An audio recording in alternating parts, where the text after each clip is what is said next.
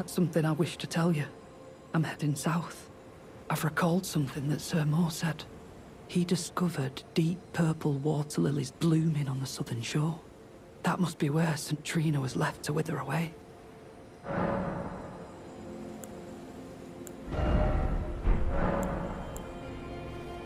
I'm heading south to the shore, so